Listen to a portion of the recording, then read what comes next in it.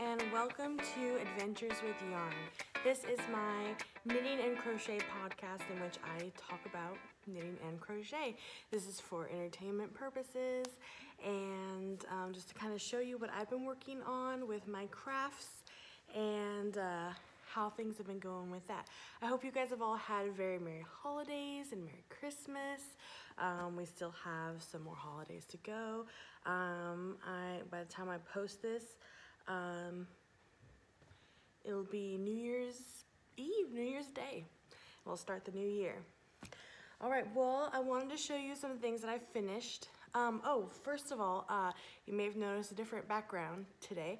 Um, I am visiting in-laws in Arkansas. So I am on a Christmas vacation in Arkansas and it's been very lovely, very relaxing.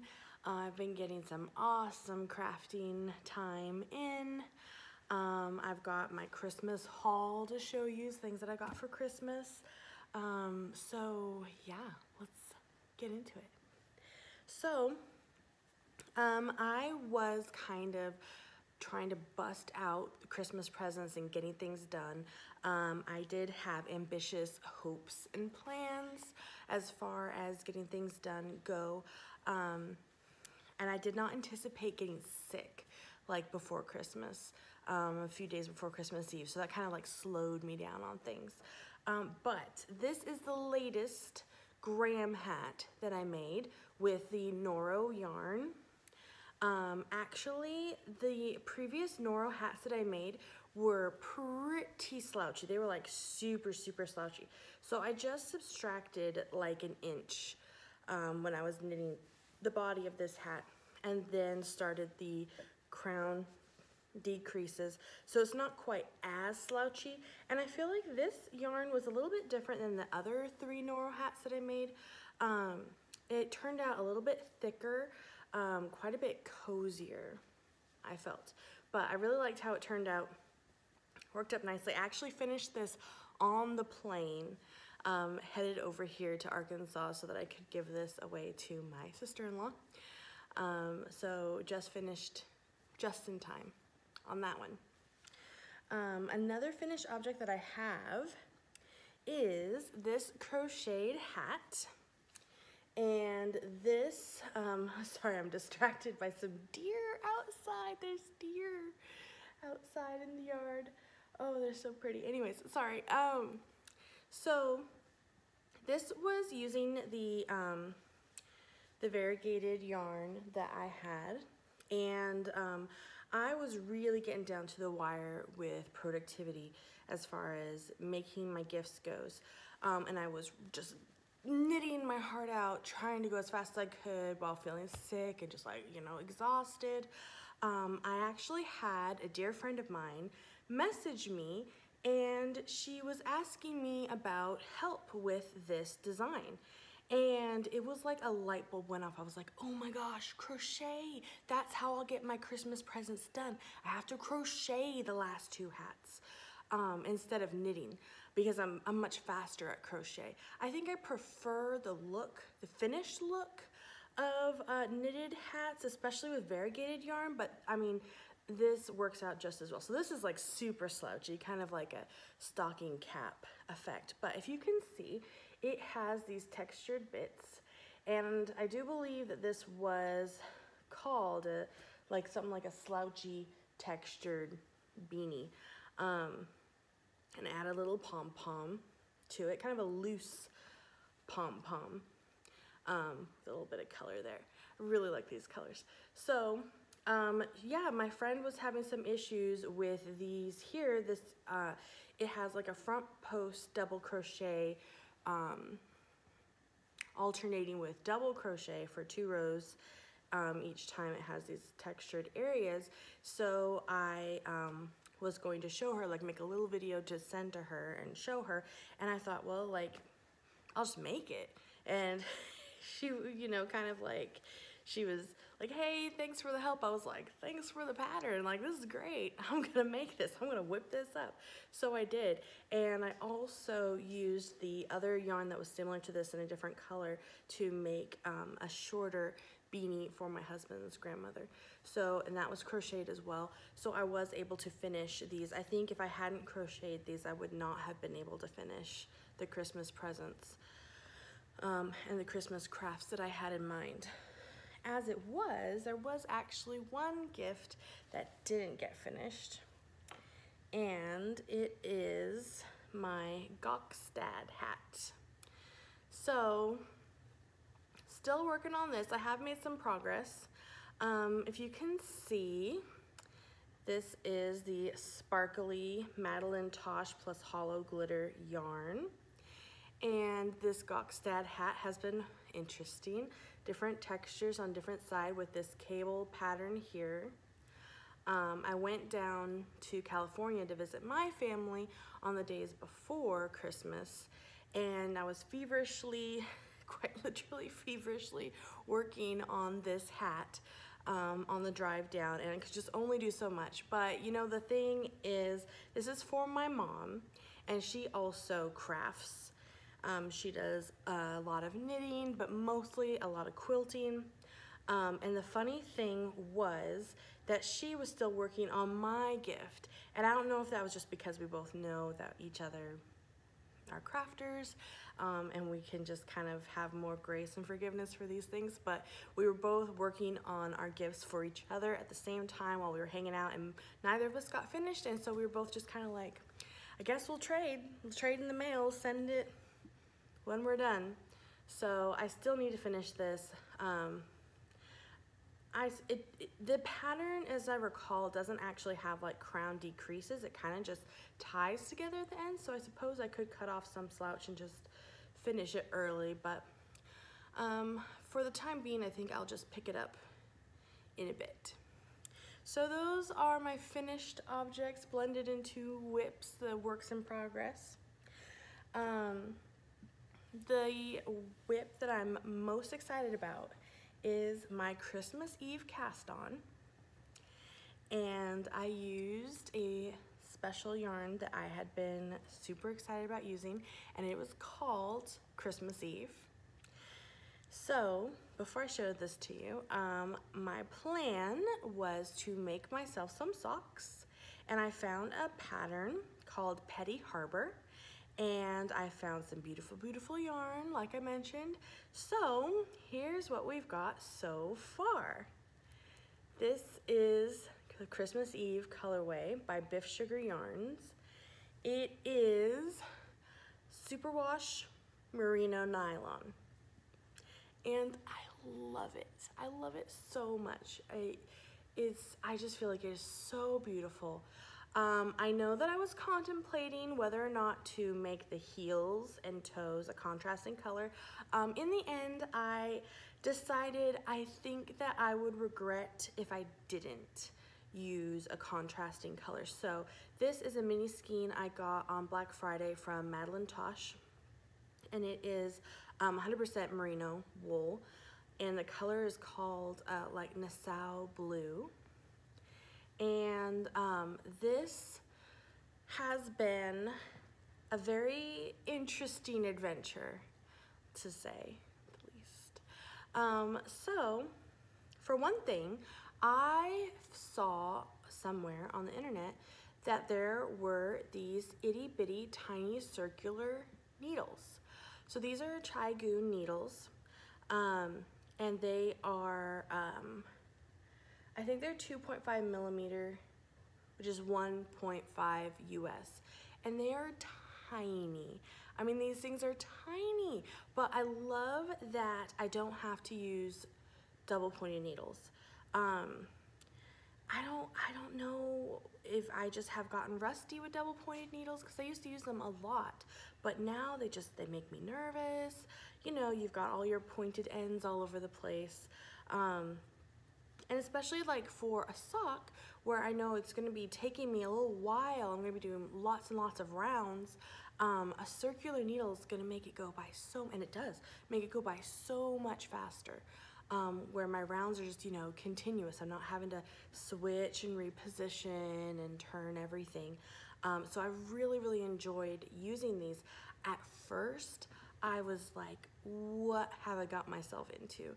Like these are tiny, the yarn is tiny, it's fingering weight yarn. I'm like, how on earth am I gonna do this? But you know what, surprisingly, um, you get used to it pretty fast. And it's been just lovely. It's been really wonderful. So I have the cuff up here. Um, I couldn't tell what size I should use. I mean, this is this is the second sock I've ever knit. And notice I didn't say the second pair. This is really just the second sock ever that I've knit. Um, and there were three sizes in this pattern. And it called for the circumference of your foot. But the circumference of my foot, I'm like, where, where do you even measure? Like what part of the foot counts as circumference? And I think the circumference of my foot was nine inches or more, and that called for the size large, but it, it appears to be pretty darn large. Um, but I figure, you know, it'll just be okay. If anything, it will be a little bit loose, and that would just make an even cozier sock, I figure. I mean, we'll find out later. But it has, uh, the Petty Harbor pattern has this waffle-ish like texture um, that I was drawn to. I thought that maybe I, I, I was a little hesitant with the, the color of the yarn with it having so many speckles and areas like you know would that be hidden in the texture? But actually it's not. It just it looks gorgeous. And if anything I mean the bottom of the sock is going to be in just stockinette so you can still see how it would look just um, without a textured pattern just being just stockinette. Um, so the sock, this particular sock also uses a heel flap. Um, I had to find a different tutorial about um, switching yarn to a different color and um, I will link to that. But, um, so I used the contrasting color to make this heel flap and then it has a heel turn. Um, let me tell you what, after making this heel flap and heel turn, and basically after making the, the heel of the sock, I feel like invincible. I feel like I could knit anything. Like, oh my gosh, I can't believe that this is actually coming together. So I knit the little heel turn here, switched back colors. Um, I did get caught up on picking up gusset stitches, which is um, basically when you're knitting the sock, you start, these are top down socks. So I knit here, knit down to here to where it meets the heel, and then you're knitting just the heel and the turn, and then you have to pick up stitches along the side of the heel flap so that you can, they can all kind of come together. Uh, it's quite an amazing thing, these socks um, or socks in general, knitted socks in general. Um, I, I had to sort out though and figure out picking up these gusset stitches on the side because I had previously thought picking up stitches was like picking picking up part of the yarn um, and then knitting that but actually, and then that kind of like messed things up as far as where my working yarn was and where it was supposed to pick up again.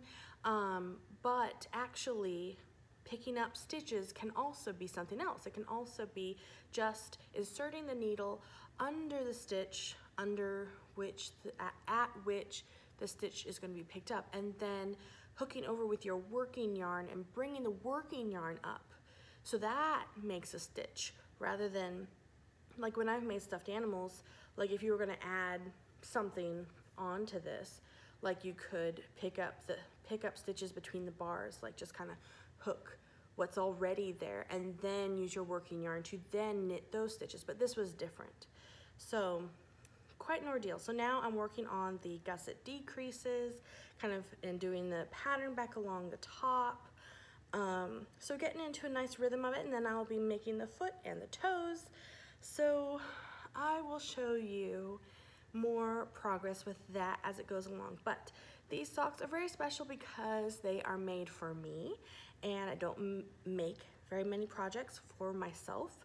So, um, and I've been really wanting to make these, hence why I will be submitting them into the Blame Dunder knit along, which is um, full of things that you've always meant to vicariously make, um, and just haven't gotten around to but now you're going to. So now that Christmas is done, I've been working on these, enjoying my vacation, and um, knitting on this sock. It's very, very fun, very lovely. All right.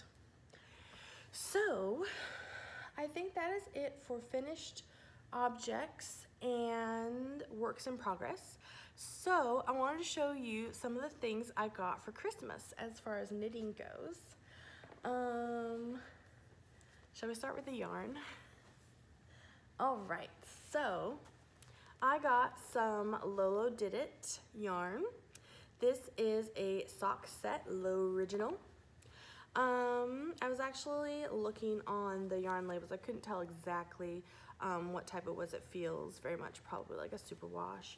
Um, right away, like looking at the colors right away, I probably wouldn't have pegged these exact two colors as a sock duo, but the more I think about it, the this is this color, like this exact color is in this a bit. And I think once this actually knits up with the grays and stuff too, will be really, a really nice contrast. So I will look forward to making myself a pair of socks.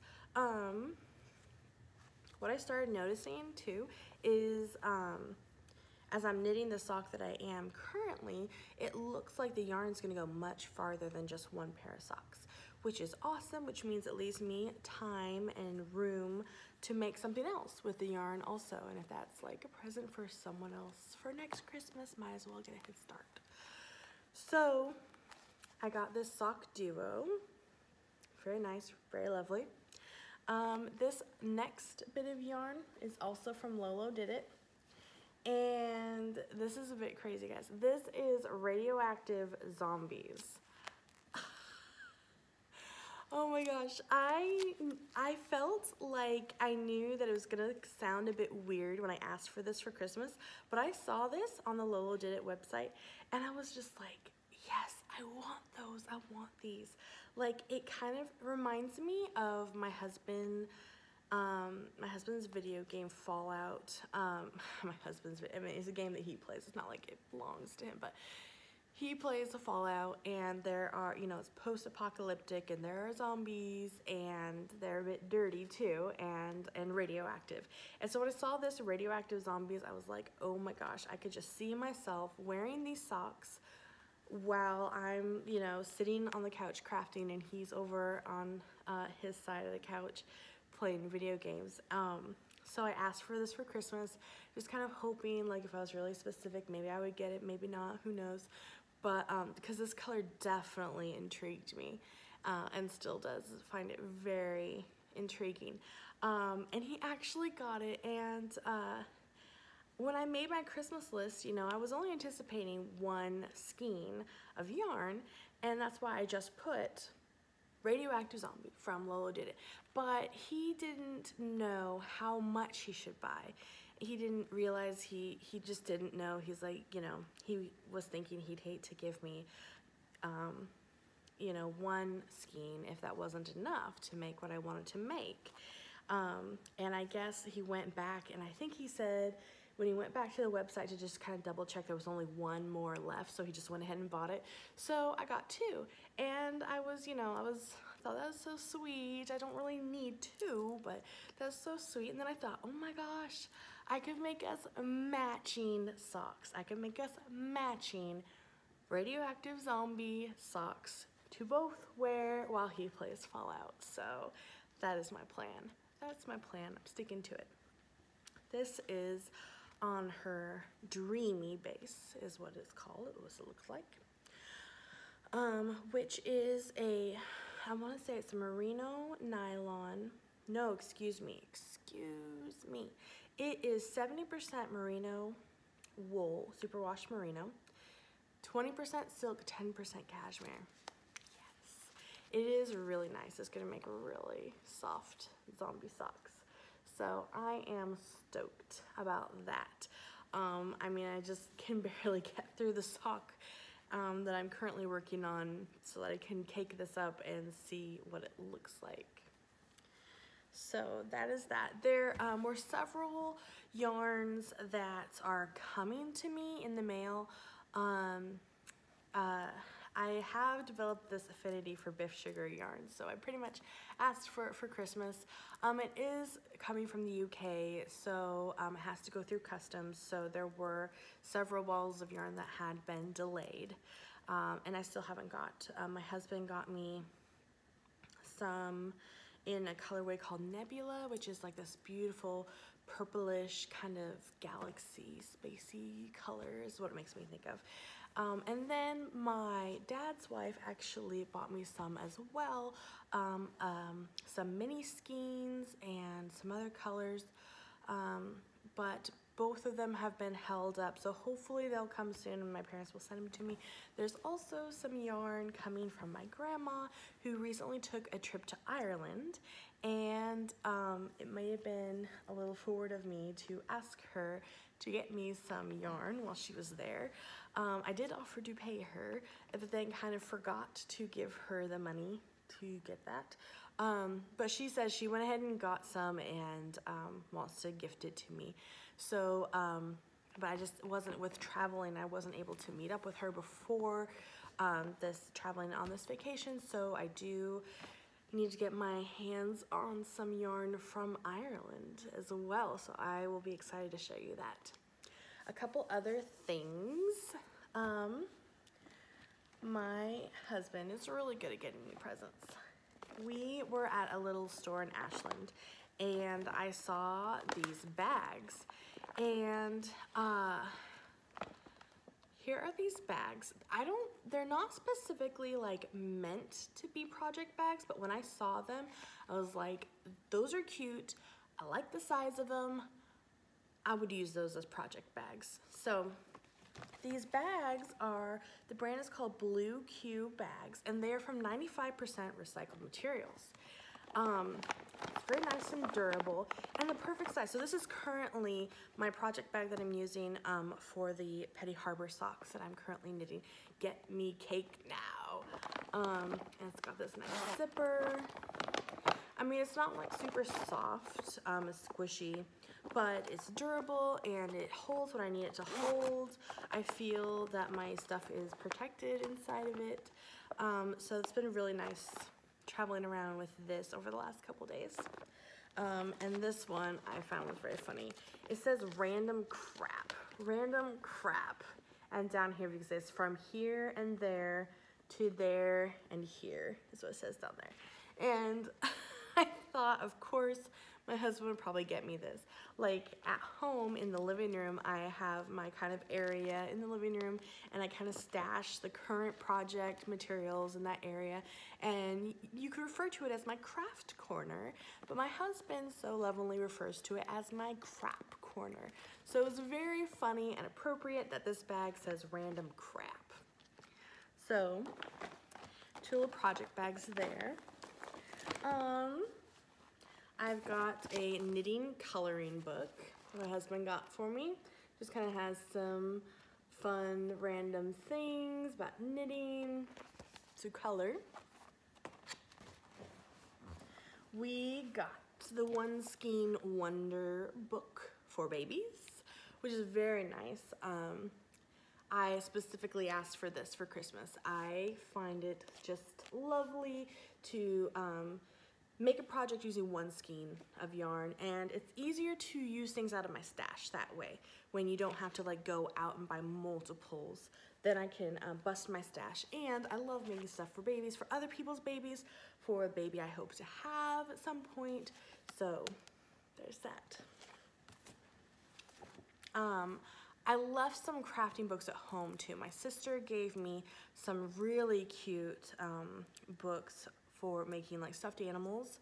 Um, I'll have to show you guys that when I get back to Oregon. Um, but uh, I'm trying to think. I feel like there was some more. We'll find out. We'll find out later. Um, this doesn't look related to knitting, but it is. Um, this is for me to use when I knit and other people are trying to watch TV in the dark. And now I can do my stuff. I love it. I love it. So turn those off. There we go. So that will come in handy for sure. Um, my husband got me this. I really like the Pusheen cat. I think it's very cute. This is a Pusheen cross stitch kit. Um, it's just this itty bitty little thing. And it comes with three different patterns. Look at this hoop, it's tiny. And so you can make an itty bitty little Pusheen cross stitch. I don't even know how I'll decide. Probably the, probably the kit with the Pusheen holding a little donut. See if we can find this. It comes with this itty bitty book too on instructions on how to cross stitch, which takes up like half the little book. And then the patterns, just so cute. There's Pusheen holding a donut with a heart or the whole body shot holding the donut. That'll be a hard decision, but oh, really cute, really small, really cute. Just a nice, that'll be a nice little day project. Super cute. So we got that. And I've got this larger project bag. Now this is cool. This is a Yarnology bag. So these beautiful, beautiful butterflies. This has more pockets than I can immediately think of what to do with. It has pockets, and pouches and zipped up pouches. Um, wow. I think that I may have to use this to hold um, the sweater that I plan on making this year. Very nice, squishy, very pretty, lots and lots of room, so that will be very useful. Um, something else that I got for Christmas was a, prescri a prescription, a subscription to something called Darn Good Yarn. It is a subscription box um, full of yarn. Um, so I asked my husband for my Christmas list, I asked to switch from Ipsy, which is a subscription box where they send you um, makeup, little makeup samples each month, to this, the Darn Good Yarn sub box. Um, same price, $10 a month. Um, and what's intriguing about this is that they will send you a small ball of yarn and from what I understand, it's it's super like usually unique, like to kind of expand your experience with different types of yarn. And this yarn, I believe, is like a recycled silk. It's roving um, worsted weight silk, handmade in India. And um, I don't know what I'm gonna make with this. I only just realized um, as I was opening this that it does kind of present a little bit of a challenge as far as um, what to make with this as a project as if this is only only yarn. I mean, you could certainly add it to another yarn. Um, but actually this amount of yarn is 50 grams, um, 75 yards is perfect for like a little baby hat and uh, would give me the experience of using that. I don't know if because this box is like the first box, but it came with another ball of yarn. I, I think that they only, they normally only come with one ball of yarn and like a doodad um, notion or treat goodie, whatever. Um, so this one came with another recycled silk yarn and needles. Um, if you can see, they are wooden and colored. And we have two size eight knitting needles and a H crochet hook. So very common sizes, most commonly used, at least for me in my crafting world. So those came in it too. All right, so that's my haul. That is my Christmas haul, you guys. So I'm very, very stoked uh, to bring in the new year. Um, I am going to be, you know, submitting something in the Blame Dunder Knit Along, which will be my Petty Harbor Socks. Um, I will be working on trying to finish the Make Nine challenge. Um, nine things that I have planned to make for the year, so I really want to do that. Um, I have another resolution, and it is, uh, it's a bit out there, but for the year 2019, I am going to resolve, yeah, I'm going to resolve to not spend, to not spend any money on yarn unless, unless I get to go to Rhinebeck. I mean, come on. But that's what I'm gonna try to do. I have a, so much stash. I really do have enough stash to last me comfortably for the whole year, if not comfortably for several years. So I really wanna make a dent on that. And maybe I could try to like organize my stash closet so I can show you it. Um, but that is gonna be my New Year's resolution. No spending yarn, no spending yarn. Then there will be yarn. Uh, but no spending money on yarn. So that's not to say I won't receive gifts or like part of my Christmas haul also did include some Hobby Lobby gift cards. So there'll be that. But um, yeah, otherwise I'm not gonna spend any money unless I go to Rhinebeck, which is maybe things are in the works. We'll see. We'll see. But that is my New Year's resolution, and I'm sticking to it. I think it can be done, and I'm excited to really use up my stash. I have lots of beautiful, beautiful, beautiful yarn to use. Okay, well, that is it. Thank you so much for watching. Um, if you are new to my channel, I try to post a episode every Monday. Um, and if you like what you see, I invite you to subscribe so that you can keep on following along. Um, and uh, if you were already a subscriber, thank you so much. All right, well, I hope you guys have a lovely, lovely New Year's Eve. Stay safe, have fun knitting. Um, comment below. I'd love to hear what your crafting um, plans are for the new year. All right, thank you so much. I'll